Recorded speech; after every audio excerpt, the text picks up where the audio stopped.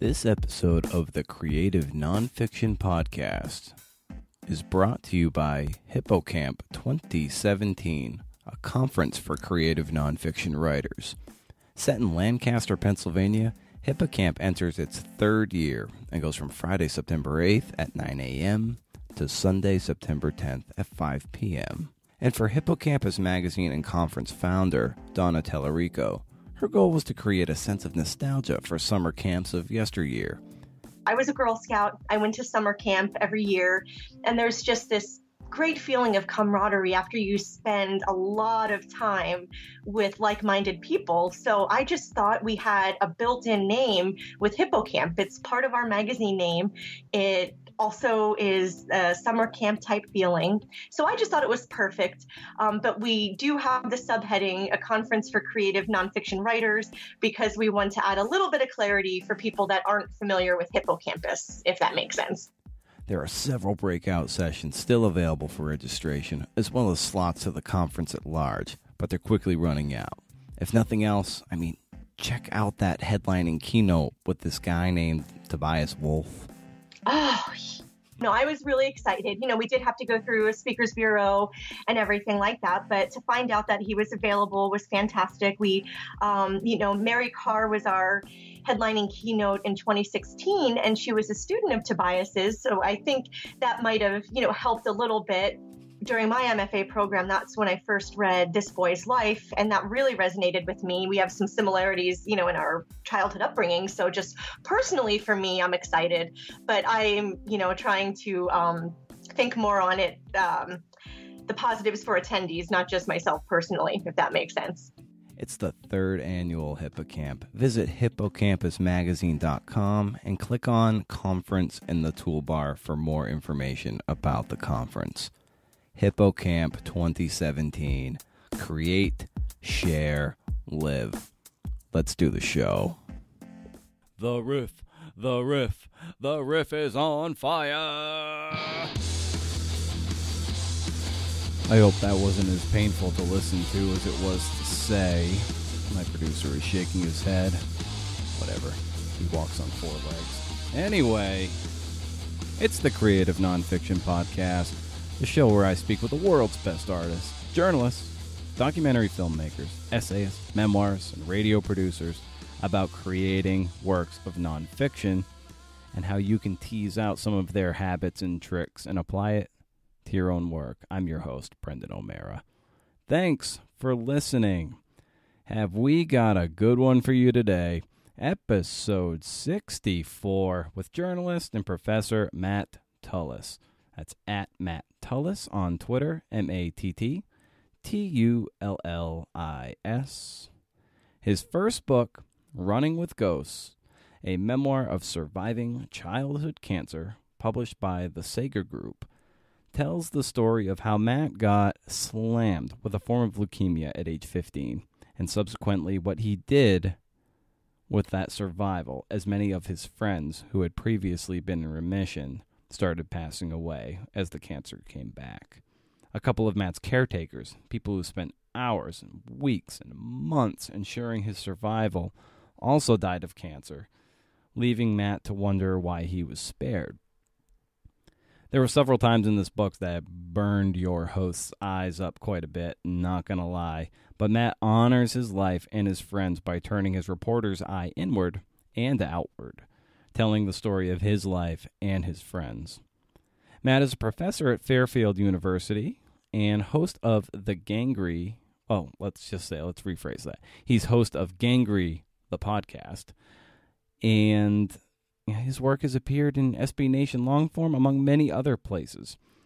You're going to dig this episode as we talk about what it takes to be a great writer, letting events unfold in the face of preconceived expectations, competition, jealousy, and self promotion. Hey, it's the first of the month. Did you know that I have a monthly newsletter that I send out at the beginning of the month, sharing my reading list as well as what you may have missed in the world of the creative nonfiction podcast? Well, I do. Head over to BrendanO'Meara.com. It's easy to subscribe, and you'll get the next one in your inbox on the first of the month. Okay, let's light a match and ignite this mother. You know, it's funny uh, when I was talking to um, Joe Ferraro a couple episodes back, and uh, it, he's someone I like quote unquote met on Twitter, and uh, you know listened to him with his podcasts, and Mm-hmm. and I have been back and forth with him on Twitter and email, and was- and um, then heard his heard his voice, heard his recordings, and it's like that the time I had him on the show was the one time I had like actually had a physical like conversation with him, and it felt like I kind of like knew knew him still, and like I kind of feel the same way with you. It's like I've been listening to Gangrey for for forever, and um and like heard your voice, of you know read your work, and we have mutual friends in uh, Right. in, in the biz, and it's kind of weird that this is actually the first time you and I are having a conversation. That is, it's really funny. Um, have you ever been out to Mayborn, uh, uh, the Mayborn Nonfiction Conference I've heard, in Dallas? heard of it, heard great things. I have not been yet. It's the weirdest thing um, because I've gone two years in a row now. But like, uh, and so the last two years that I've gone, it is so strange. And then so you take it one step further, and now you're meeting people Mm-hmm. like in person who you've had Twitter conversations with. Um, you've read their work. You may have even spoken. You know, a lot for a lot of the people, it's people that I've done podcasts with, um, but I've never actually met them. Yeah. And then there they are in the in the flesh, and it's really kind of it's kind of surreal. It's kind of cool. So Yeah, a few Um, years ago, I was at a Monmouth racetrack. I was doing a book signing for Six Weeks in Saratoga, and um, Mm-hmm. a lot of people I know in that horse racing world uh, were coming up to me, but I had only known them through Twitter. So when I was actually shaking some of their hands, they would say like, "Oh, my name's uh, Norman," and but then he like gave his Twitter handle as he Right, was inter I was like, "Oh yeah, that's you." yeah, that's funny. Yeah. Yeah, it's pretty cool though. Yeah. So Yeah, it's wild. So, um, yeah, why don't we jump into a couple things? You know, I'd like to get into some uh, some background stuff uh, before Okay. we jump into the to the to the book, which was I, I got to say before we even get into that in detail, I, it was just a an awesome awesome memoir, just powerfully told, beautifully written, and I I, I you know. I was deeply moved by it uh, throughout the whole 200 plus pages of it. So just well done. I just want to say that first. I, I appreciate I appreciate that so much because you know what the like I've been writing about this for so long. Yeah. So long. And I think that comes across in the book. I tried to make it come across in the book. Um and you know, the really the only thing that I had ever published about that was the SB Nation piece. Mm-hmm. Um and so I had no idea I have no idea. Nobody nobody has really ever read this stuff except, you know, a, a select few people. And I had no idea how so it's nice to, to, to when I hear people who, especially people I that I don't necessarily know personally, who who say that because you know you never know how it's gonna how people are gonna react to it. So Yeah. it makes me feel nice, all warm and tingly. So thanks. So, what, at, at, at- you know, at, at what point, like, when did words, reading, and language become important to you? Oh, you know, um, I was just talking with my daughter about this this morning. she she like asked me because we've all been we've been talking about the book nonstop at the house, and and and she asked me like when like like when did I like when did I know I wanted to be a writer? And my daughter is ten. She's going. She just started the fifth grade yesterday, and I told her, you know, like I I always loved reading. But then I think it was in the sixth grade is when I really started writing. I loved to write these stupid little things. And I had a sixth grade language arts teacher who used to like used to say, you know, if anybody in here is gonna grow up and be a writer, it's gonna be Matt.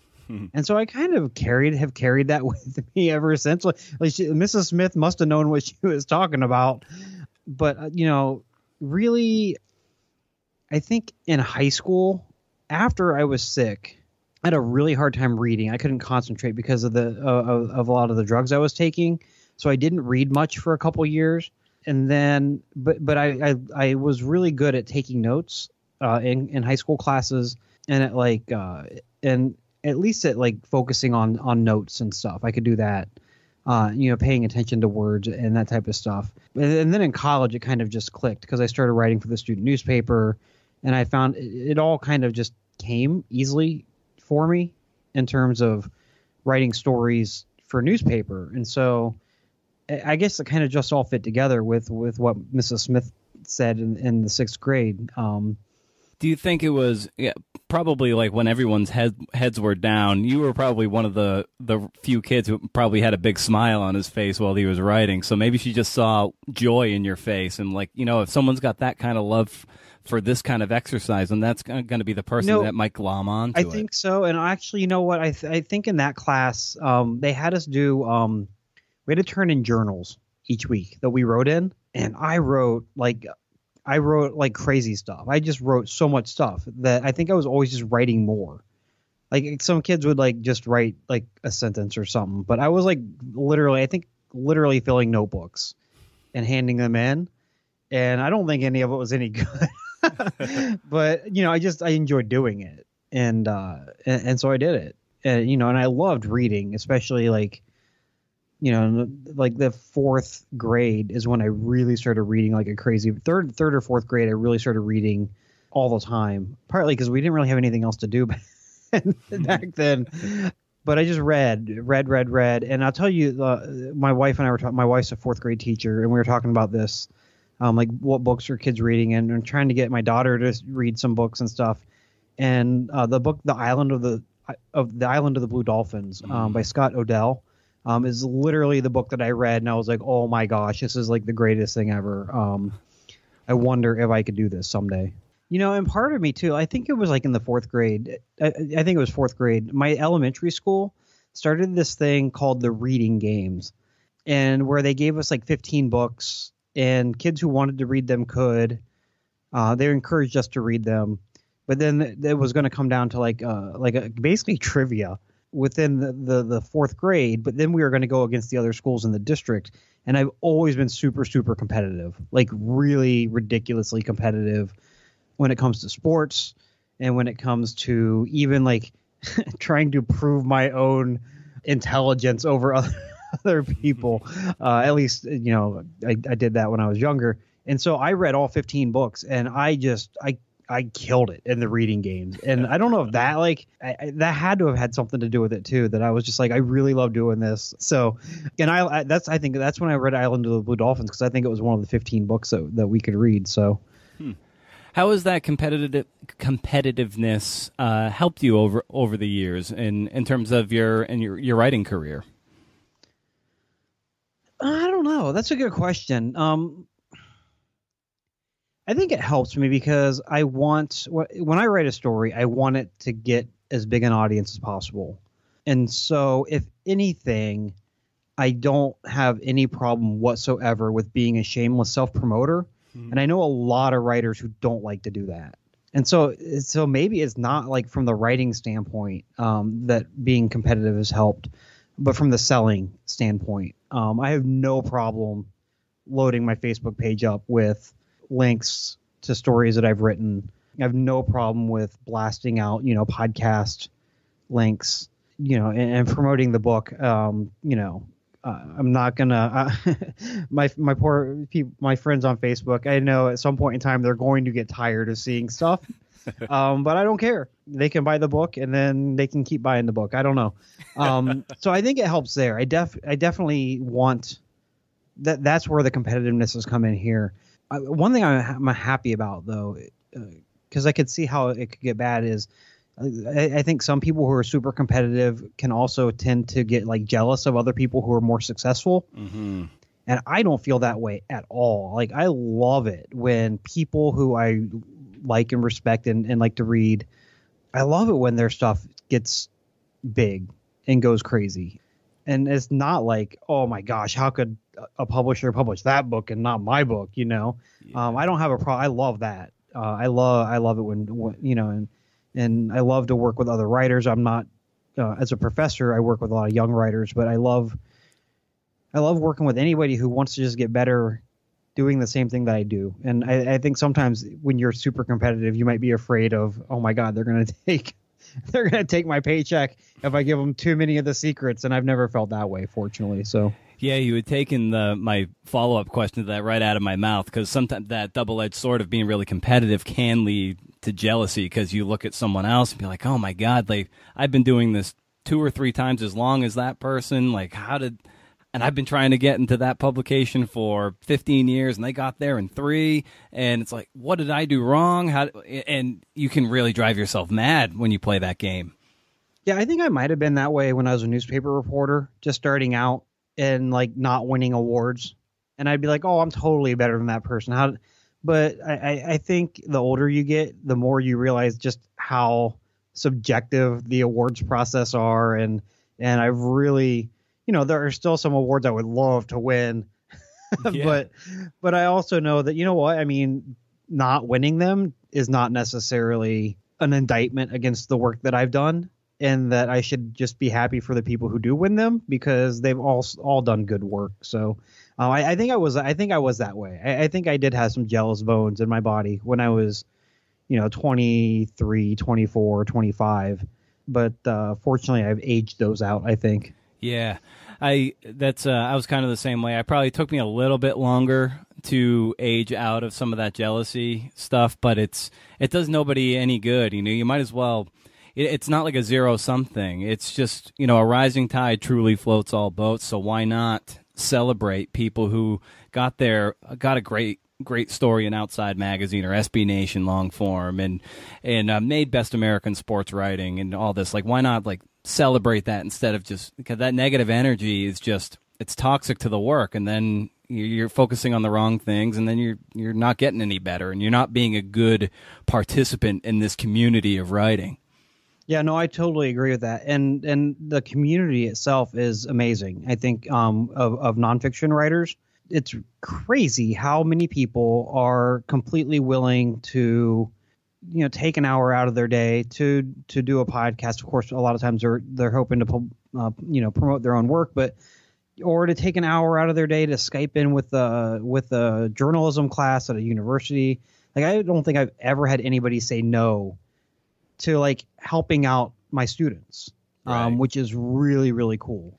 And I don't think you get that in in every industry in, in every industry. Um, I, I think writers, uh, you know, creative creative nonfiction writers, you know, magazine writers. I just think we love it when people think enough of us that they want us to talk to them, uh, or they want they want you know we we want them to talk to to another group, and we're just like, oh my god, really? That's that's awesome. Yeah, yeah, and that subjective uh, nature that you were talking about too is is real important to consider, especially with anthologies or awards, and and just thinking of like say best American sports writing. Like say it gets to the point where it's going to be evaluated by that year's guest editor. And I, am thinking about like particular like the year say Christopher McDougall was the mm-hmm. editor. He's got like a running sensibility.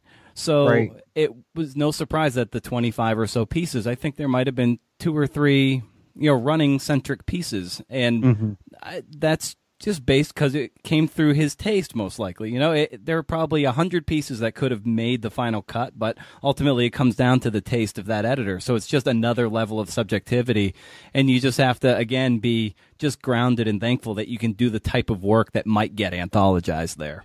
Yeah, no, I totally agree with that. You've been doing this for you know 15, 20 years what do you struggle with? What are you continually finding yourself like, all right, I, this is what I want to improve on. This is what I want to do to make the next one sing a little bit better than my last one.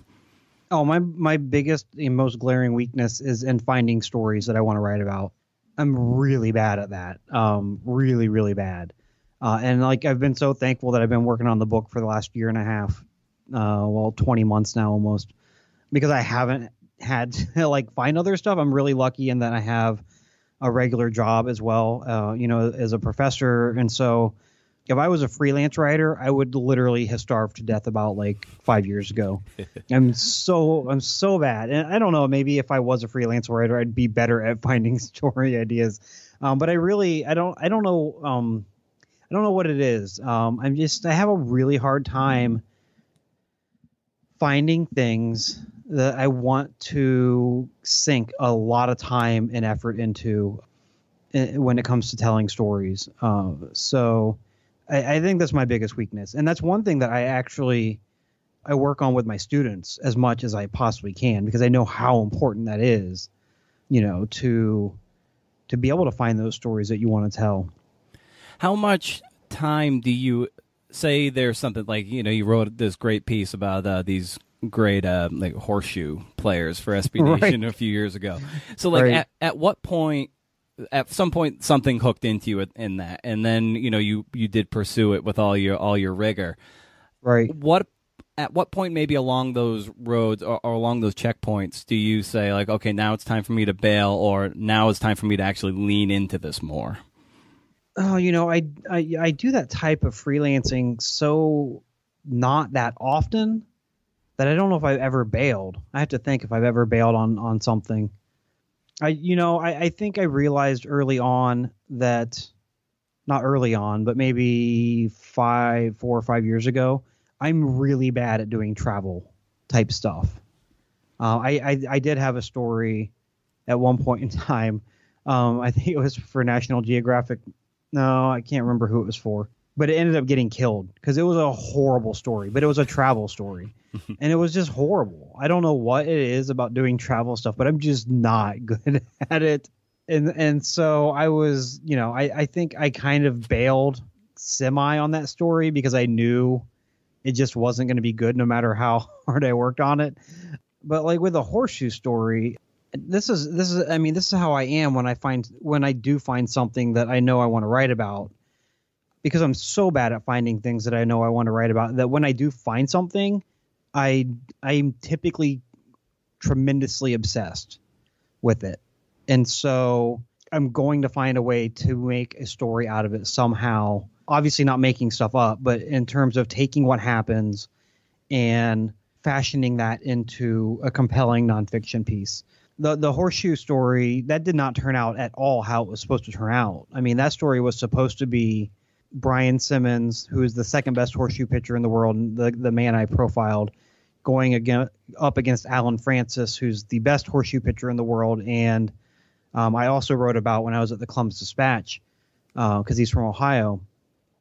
That whole story was set upon the premise that they would meet each other in the finals, and that Brian would be going to try to knock off the greatest of all time for the second year in a row. Uh, and Brian was horrible. That was his worst tournament that he ever had. Um, I think he finished sixth place that year and so I never like considered bailing on the story. I, I spent that whole tournament because it was pretty obvious early that he was not going to do well.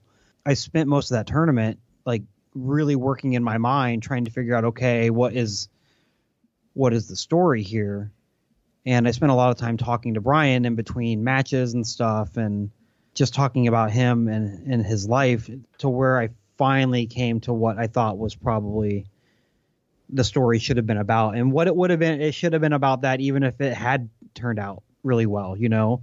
Um, if it had turned out where he went up against uh, the first the number one guy uh, for the championship.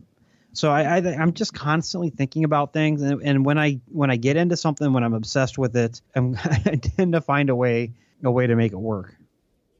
So what was that what's what was that like that sense of adaptability that you had to show when going into that, it wasn't meeting your original expectations. So you did have to kind of report for maybe a different structure than you had originally envisioned. So like how did how did you navigate that?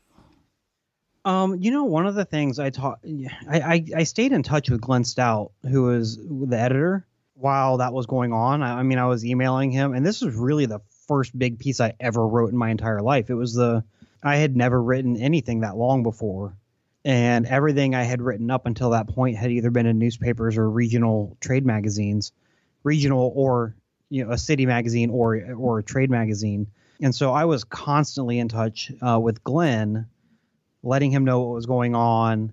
And luckily, he was he was very cool headed and said, just keep following it, just try to figure out what's going on, um, just keep reporting. Um, a story will show up at some point in time and it really did come about like uh, just from talking with Brian, the the main the main the main guy in that story, because you know, we we talked for about two hours um, before the tournament officially began.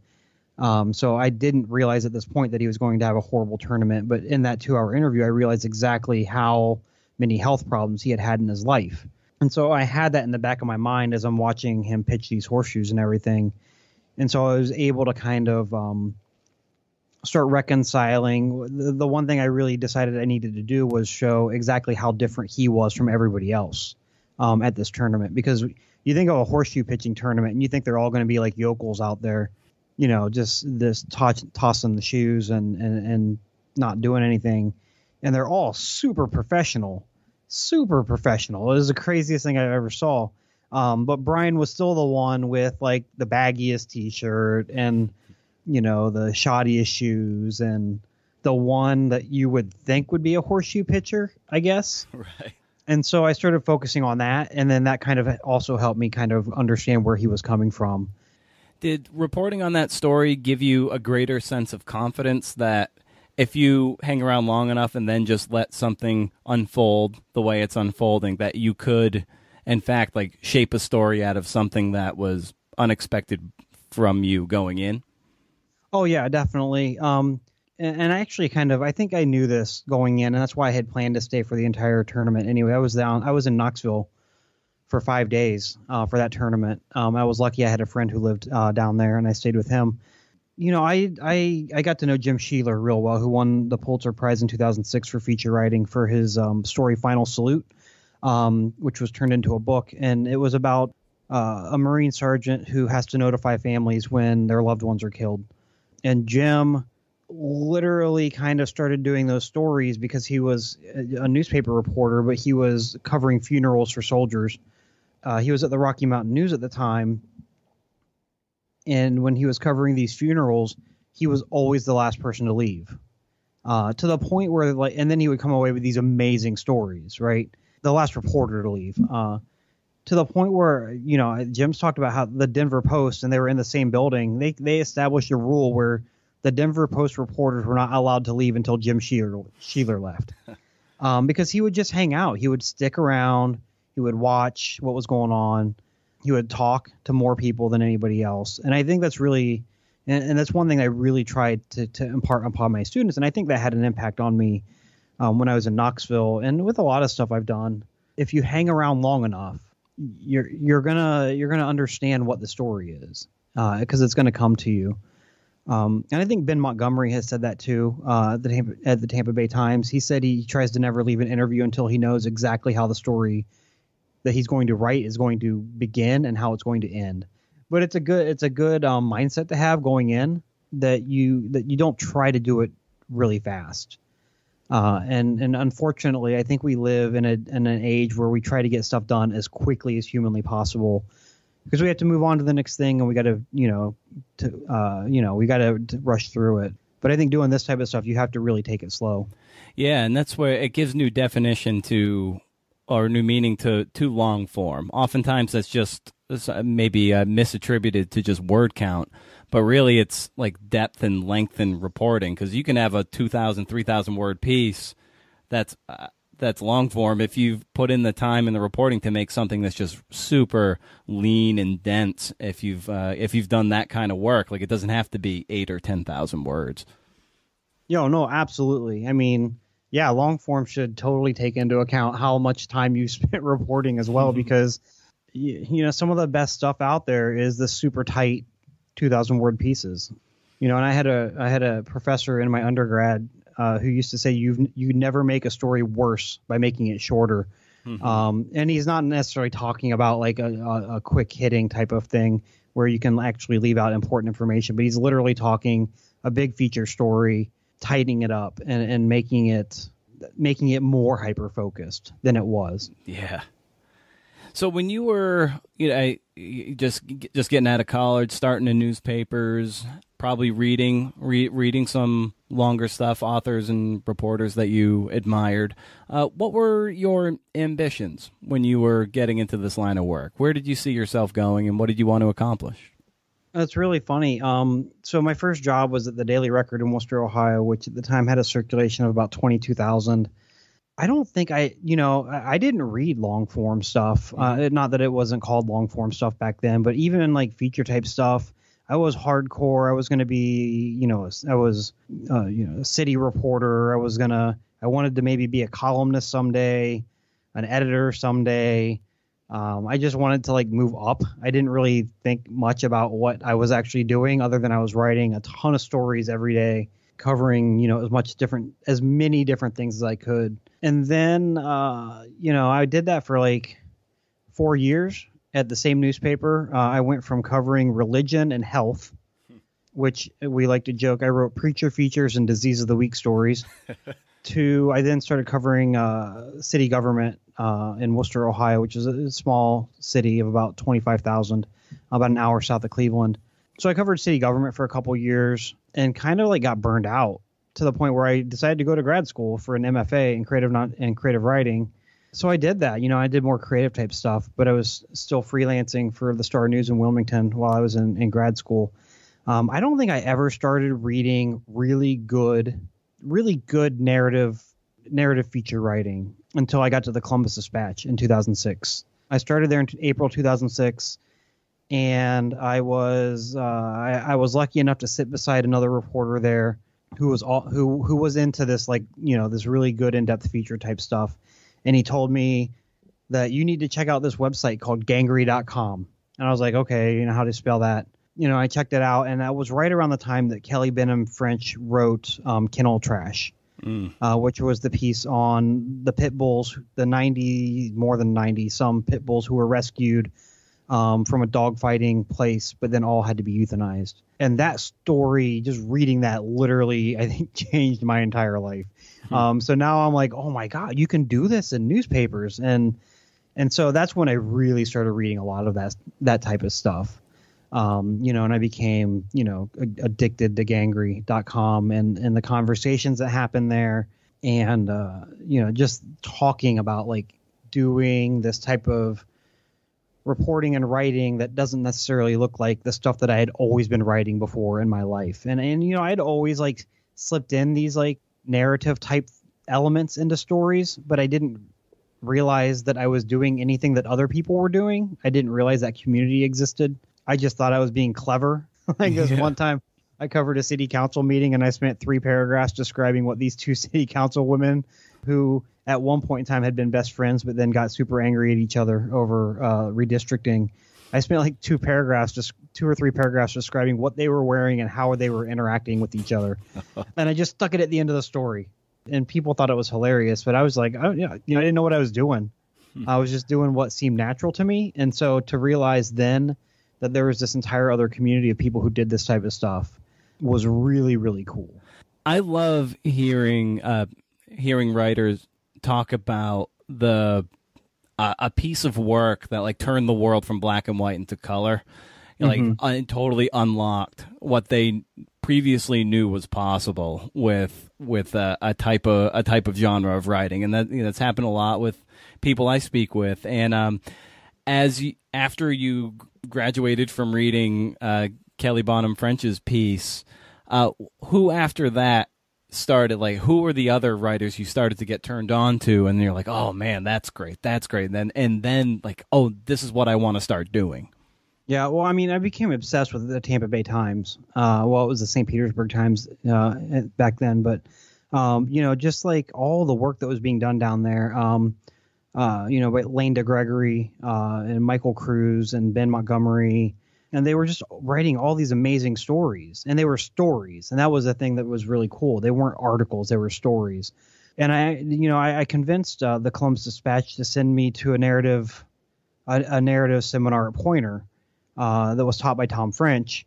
Uh, who also has amazing stuff, also done at the St. Petersburg Times, yep. Tampa Bay Times and it was there, you know, that I started getting to know some of these people, and that's where I met Jim Sheeler, and I started reading Final Salute, and I read his obituaries. He wrote uh, for the for um, the Rocky Mountain News and, and the the Boulder Daily Camera when he was there, and I was like, you know, these are just amazing things. They're they're not what they're not articles, they're stories. Uh, and so actually, you know, after after I did that, one of the things I started doing at the Columbus Dispatch was I kind of copied Jim Sheeler and I started writing feature obits, uh, feature obituaries um, on just ordinary people uh, who passed away in, in Central Ohio.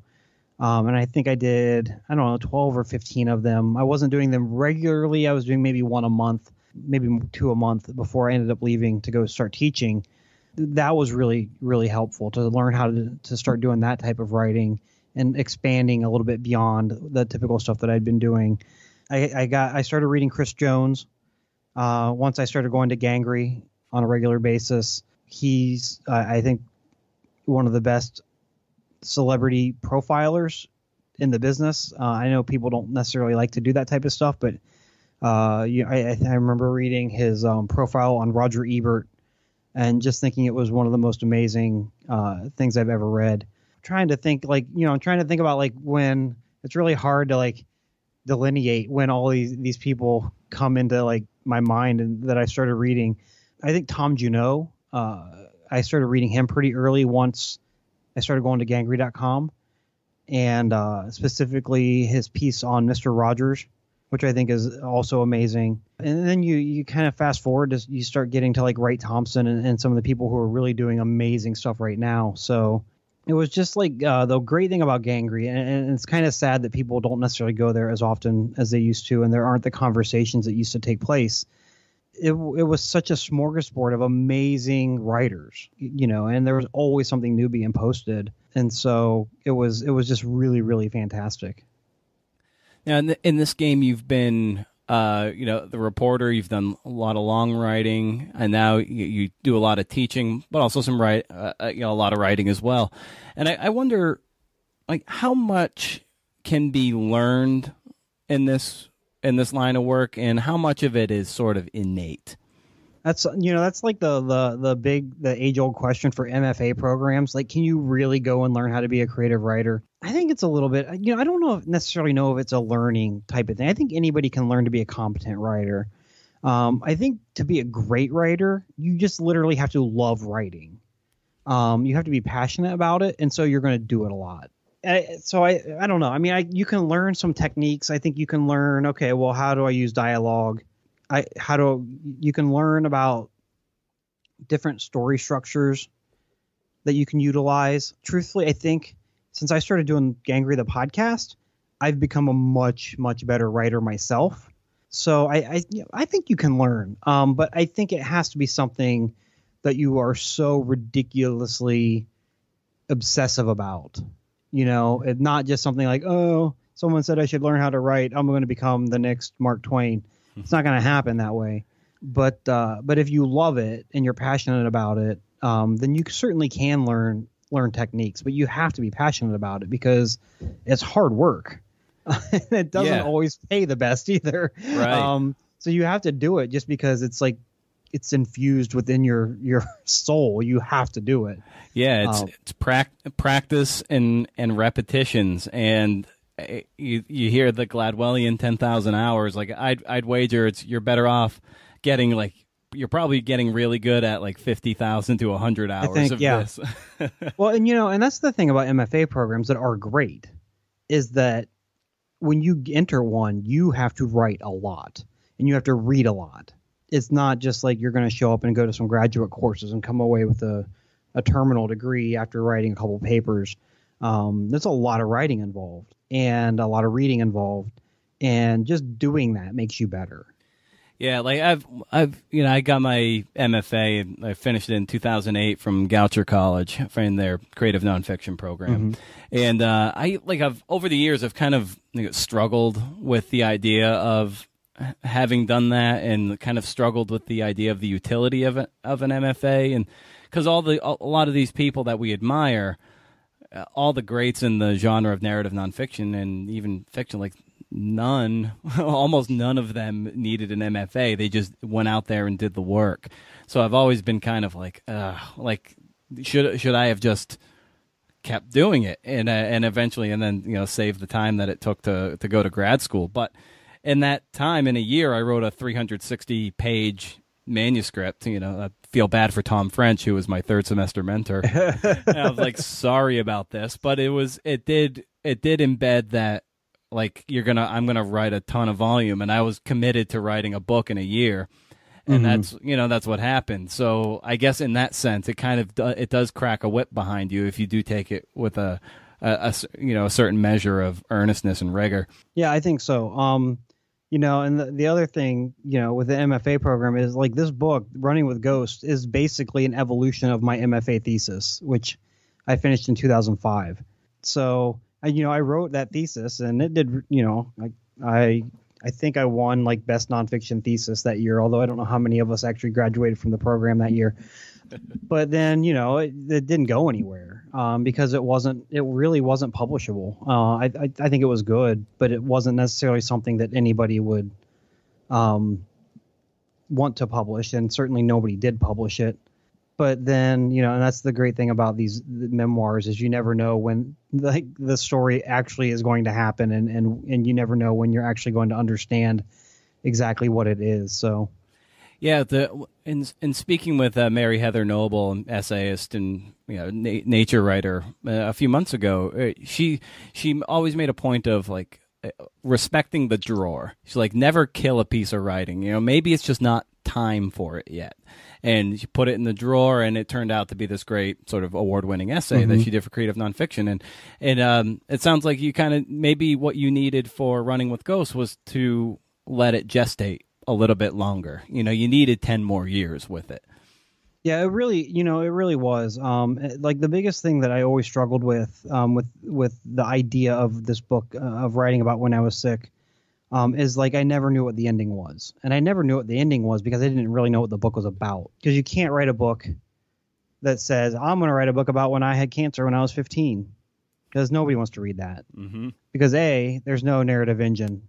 Because obviously, if I'm writing the book, I survived. So the reader's not going to read it and it's like, I wonder if he survived. I have to turn the next page. Um, you killed it. You killed it already. Um, so then that creates this other, you know, this conundrum. Like, what is what is the book about, and and what is the the, the story arc? What is if I have to describe this in one word, what's it about? Kind of thing, because it's not just about the page turner is not going to be did he survive. It has to be something else it can't necessarily just be oh it's a, when I came of age from having after ha- you know I grew up because I had cancer because that's that's boring and trite and played out as well. So you know it really it really did take at least 10 years before well I finished in 2005 and I started running in 2013. So it took about 9 years before I started actually thinking along the lines of that would actually get get me to what ultimately ended up being running with ghosts. Yeah, no. Uh, what what struck me about it was you like you said like how do, how could you elevate this to something that's not just I had cancer and I survived. It, it really it come it really came down to like as as a lot of your friends and even caretakers were dying of, of cancer around you it was and you italicized this in the book too was like how can I how can I justify my survival and I think that really got to the heart of it. It was like, what are you going to do with this life when others were falling around you? And uh, and how did you how did how have you come to justify your survival and take the life that you that you fought for? Um, well, I work way too much. um, I you know I um I don't know. I you know, and I don't necessarily know that that's a question that I'm ever going to be able to answer 100% certain certainty with certainty. Um, I think for me, one thing that I one thing that I always struggled with was this idea of uh, which what, what you mentioned, like why did I survive and how do I justify that? And I kind of had to come to the conclusion that I, I couldn't just sit around and wait on some like some sign that was going to answer that question for me, which I think I did for a while. I had to kind of create my own meaning. Uh, I had to kind of come up with this idea on my own. Uh, I had to, to I had to just tell myself that this is why you survived and and live with it. And, and for me, and I really realized I realized this after the Ghosts I Run with was published on SB Nation. Uh, that was on April uh, April 2015. Uh, I realized after that was published, like within hours of when that was published, that I had bits of information about some of the people that I'm writing about, uh, some of the ghosts uh, that it, that uh, are kind of the focus of the book. Um, I had information wrong about their lives. So uh, my nurse Janet uh, is a, is a really good example because this is the first one that came up. It, you know, the, when the piece was originally published on SB Nation, uh, I wrote that she died of breast cancer, and that's what I had long for like the last 15, 20 years thought was actually the case. That that's how I've lived when I went for 20 years, when I thought of Janet, I thought of my nurse who died of breast cancer. It turned out that wasn't actually that wasn't accurate. She had a, a cancer that started in her gallbladder, mm. which I found out because uh, our world is so small. It turned out, and I mentioned this in the book. One of my wife's friends from college lived on the same street or in the same neighborhood uh, as Janet when she was growing up, and her best friend was Janet's daughter. And so she texted me like literally 30 minutes after the story went live and said, "Do you think it's the same Janet?" Uh, and I was like, "Yeah." And so she put me in touch with Janet's daughter, which was great. But uh, but you know, I, I, was able to learn that you know, I, here's this person I've been thinking about for 20 years, uh, 20 21 years at that point in time, and I think about Janet and and Dr. Kufis and, and the other patients that I write about, Melissa and Todd and Tim, and I think about them pretty much on a daily basis, I think. But I realized, you know, i have been thinking about these people just about every day for 20 years, and I don't necessarily know anything about them uh, other than uh, my experience with them at that one point in time. And so uh, I kind of came to the conclusion that, like, so you know, one reason that maybe I could have survived is because I can, I can, I can tell stories about them, so other people will know about them, uh, and know how much they meant to me you know, uh, you know, as a not only as a patient but as an adult. Uh, but I also knew that if I was going to do that, I had to get the information correct mm-hmm. uh, because I'm a reporter and I don't like having mistakes in my stories. Uh, I don't like making factual errors, and so I think that's kind of the you know that's kind of what I came to. You know, I can I I feel good with um, justifying my own survival by by telling the stories of those who didn't survive. How important was it for you to to write this memoir as you know as deeply personal as it is, but while simultaneously bringing that reporter's eye to it? You know, it wasn't that difficult at all. It was actually, um, uh, you know, I've been re- I've been reporting on having been sick for a long time. Um, uh, when I was in grad school, I got uh, a, a, grant to go back to Ohio and get I got about um, 50 or 60 pages of my medical records uh, photocopied because I real I knew early on that it would be hard to write about um, a time when I was very very sick uh, and when I was very near death as a also as a 15 year old I knew there's no way my memory was going to be right about that stuff um, I knew that uh, that memories can get cloudy. Memories can com- be completely false uh, at times. Uh, and so even in 2004, I went back and got records. Uh, and and that was really really cool because uh, when I did that, I got enough records where I was able to actually build an actual timeline of exactly when just about everything happened um, while I was sick, and that was really like liberating in many ways because you know there there was um, one instance where like at one point in time, I thought one thing happened well before another thing. Mm. Uh, and then to find out that that wasn't the case, I don't know why. It just felt really like cool to know that. Yeah. Um, it was like, oh, that's so awesome that I could find out any of this information. It's all right here. Uh, and it, so it wasn't that weird to go back and, and report report on on my life. And, and so much of it was like basically reading my medical records, doing the documents, at least with regards to my own life. It was uh, a little um, more difficult uh, in like interviewing the families of of the people that I write about. Uh, actually, interviewing them was not hard. Reaching out to them was hard mm. um, because, especially with um, with Todd and Tim, who I write about a lot in the book, um, because uh, they you know, they died 20, 22 years ago. And I knew that to have a reporter coming out of the blue to say, "Hey, can I talk about your son who died in 1997?"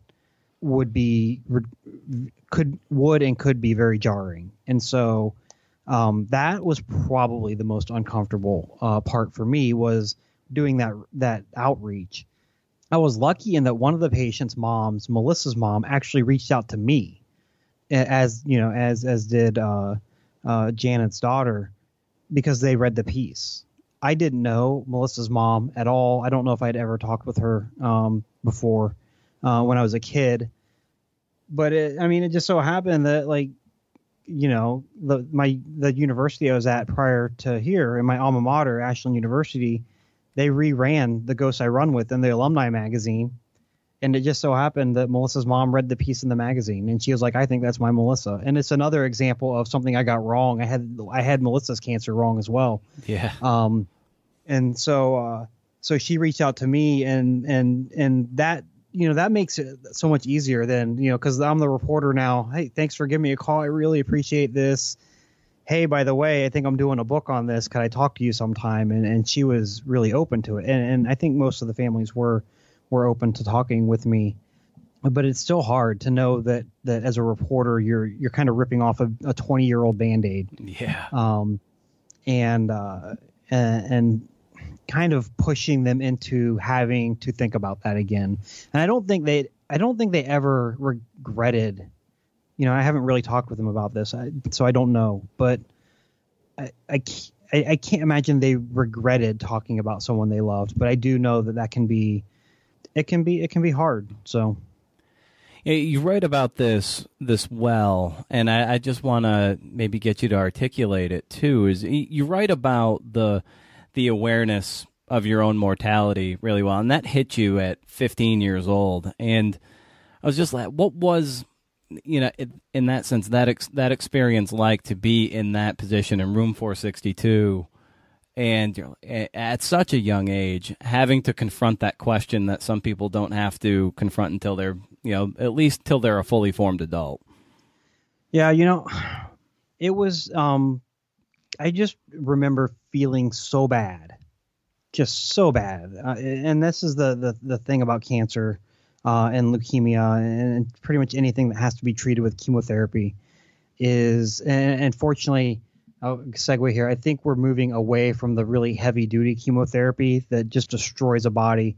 Uh, moving to more targeted therapies, which is way better for a cancer patient. Mm-hmm. But in 1991, it was still massive heavy doses of these horrible drugs.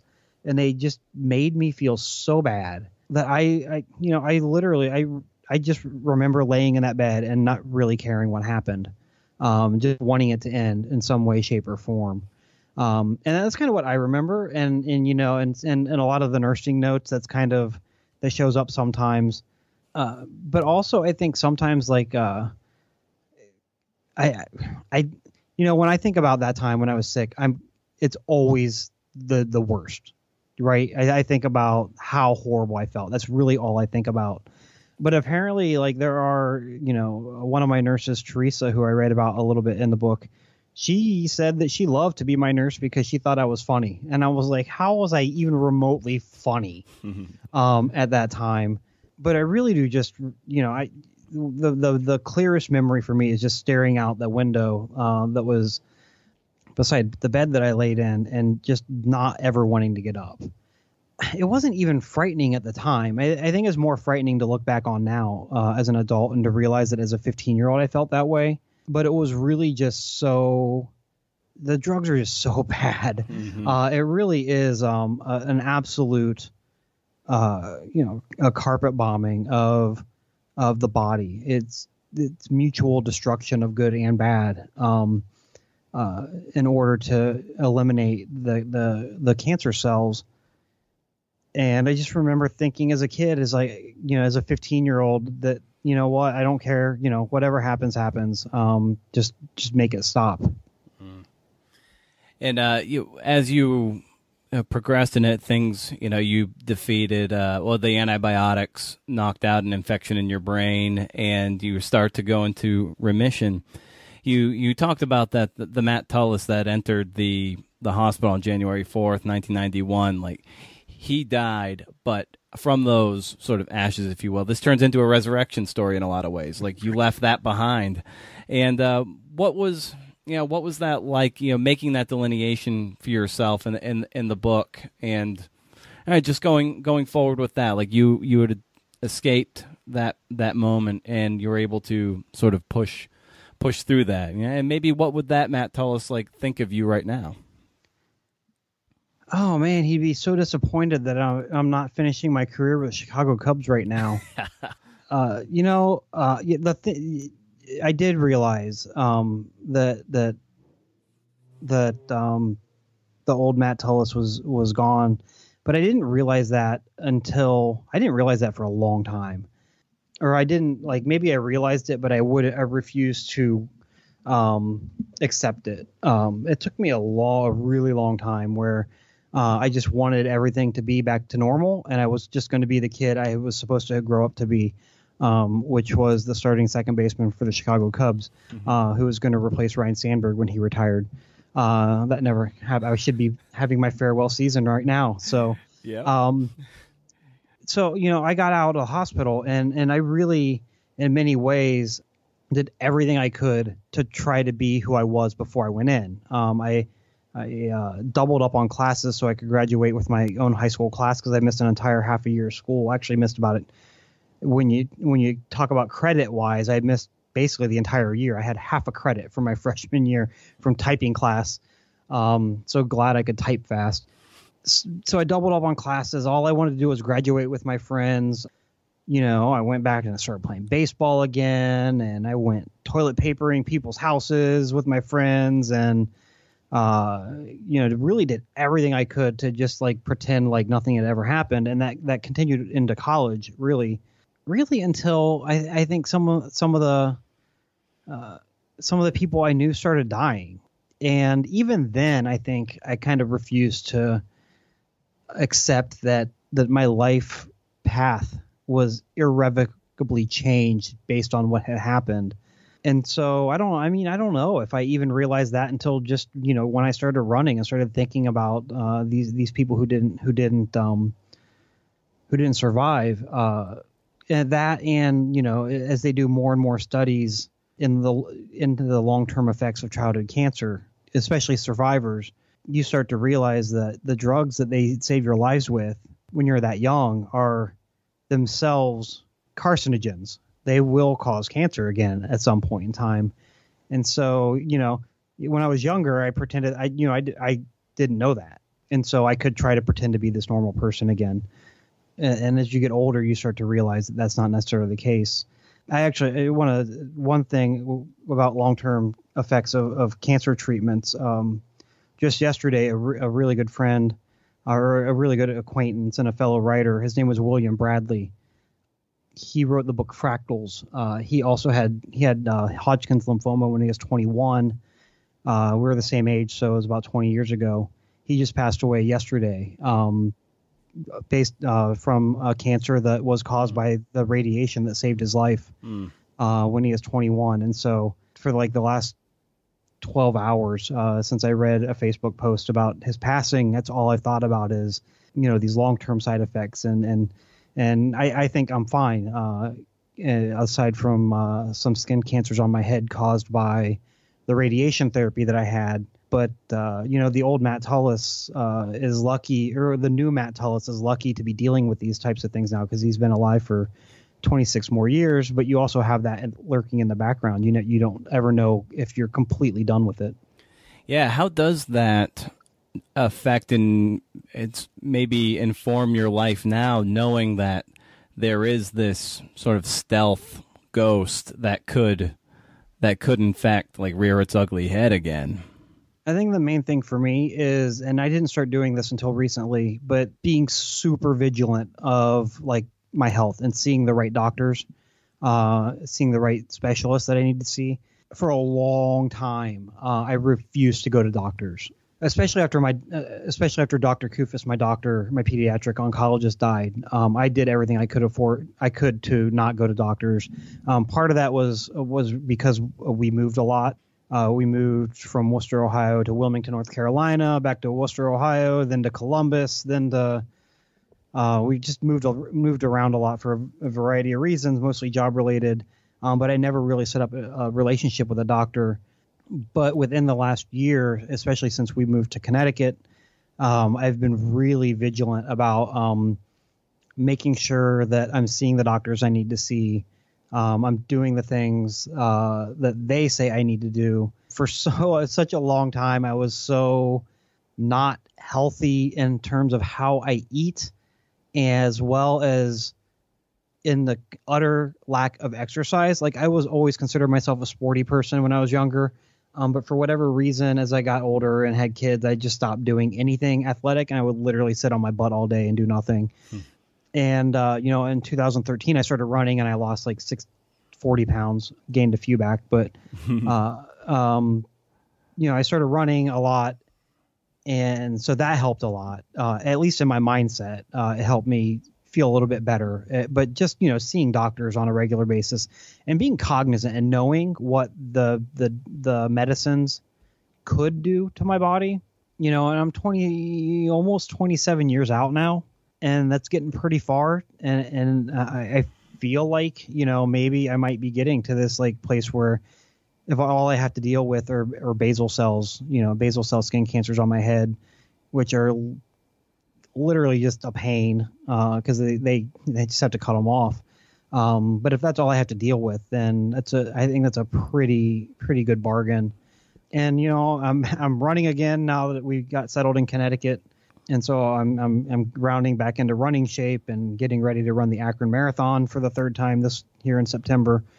Uh, so with so, team in training, I probably right. Uh, I'm actually uh, Akron. I'm not doing for team in training. Okay. Uh, I'm doing it uh, on my own, uh, but I am running the Philadelphia Half Marathon uh, in November for team in training, um, which I'm really really excited to do. I have not done anything with the team since since since Akron Marathon in 2014. well, I did another race with them shortly after that, but. Uh, it, has been since 2014 since I've since I've done anything with them, and I'm really excited to be doing that here in November. Cool. And I've just got a, a few more questions I'd love to ask you. Kind of kind of rapid fiery, but they don't okay. necessarily require rapid fire answers. Say, um, what are some books that you find yourself rereading time and again? Uh, it's funny. Tom Junod just put something like this on Facebook, uh, and I answered it. And now we'll see if I can remember what I answered. um, I read uh, the, uh, Tim O'Brien's "The Things They Carried" at least once a year. It is uh, without a doubt the most um, impactful book that I've ever read in my entire life. I'm, I'm looking, I'm, I'm scanning my bookshelf right now, trying to see if there's any. Most of the books that I read more than once are all at my house, and I'm in my office right now. Um, I, I, I read Paul Auster a lot. I, I don't know. Uh, I just love his narrative structure for his novels. Nonfiction wise, uh, I'm totally going to come up empty on this you know, I not necessarily any books, but um, anything that John Jeremiah Sullivan writes, I'll mm-hmm. read because I think he's amazing. Um, his book Blood Horses is ridiculous. His book Pulphead is even better. It's a collection of his pieces. I know I've never read that a couple times. Yeah, so I think uh, really though, um, the things they carried is, is probably the most prominent one, and, and, that's the easiest one for me to come up with, just because I read it all the time. I've got a, a I got a sentence from it tattooed on my left forearm from the the story "The Lives of the Dead" at the end of the book. Uh, the, the but this too is true. Stories can save us, uh, which I think is um, one of the greatest opening lines of any short story ever. Hmm. What did a successful writer look like to you when you were, say, twenty and thirty, and even then forty? And how does that how does that evolved? Oh man, when I was 20 or you know 20, I was gonna win a Pulitzer Prize, and I was gonna. I don't know. I have no idea. I just wanted to like. I think when I was 20, my idea. You know, this goes back to when I was in high school too, um, and I think this has something to do with having been sick. But I desperately wanted to write a book, even then, that that that everybody would know, everybody would have to read, I remember thinking in, in an American literature course uh, that I hope someday I'm going to write a book that in a hundred years students are going to have to read in American literature and they're going to hate me. uh, so you know, when I was 20, I wanted to. I desperate. I you know, even in my first newspaper job, I desperately. I, I I wanted to. My goal was to win a Pulitzer Prize. Uh, but I also, even then, I knew I wanted to write a book at some point in time, um, and, and, I had bigger aspirations for what that book would be. Um, when I was 30, you know, I was just, um, I'm trying to think, I was, I was just finishing up the MFA program uh, at UNCW, and so obviously, I think I was more hyper focused on the memoir and the book, um, maybe too much so. But again, I think then, uh, you know, success then was like a big, nice, big advance from a publisher on on on, the book, uh, and then maybe a second book at some point in time. Now you know, for truthfully, uh, I I think it's a success just to have the book done and to know that some people will read it and will possibly be moved by it and and and will and will carry away um, thoughts of uh, my doctor and my nurse and, and Melissa and and Tim and Todd. Uh, they'll carry uh, thoughts away with them in their brain somewhere, uh, and and so you know uh, that for me that's a success right now uh, as a writer. also, you know, having another book at some point in time wouldn't hurt either. but I think that's the biggest thing is just that it's done, it, and and and the, some people will read it, and, and for me, that's success. Very nice. I think I think that's a great place to end our conversation on, Matt. That was uh like I said, the your your book is wonderful. I wish you the best of success with it, and uh, I think it's going to affect a lot of people and and uh, and move a lot of people too, and and maybe inspire people to live a more enriching life. You know, the way you were able to honor your friends that have passed away and their caretakers, and the way that you've chosen to live a, this life of intention and and language and words and doing what you do. So I think uh, I think you've mission accomplished with the book, and I wish you the best of success with it.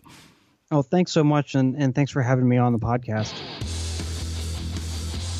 Thanks again to Hippocampus Magazine and the third annual Hippo Camp for sponsoring this week's episode. I can't wait to one day attend, maybe record a bunch of pods on site.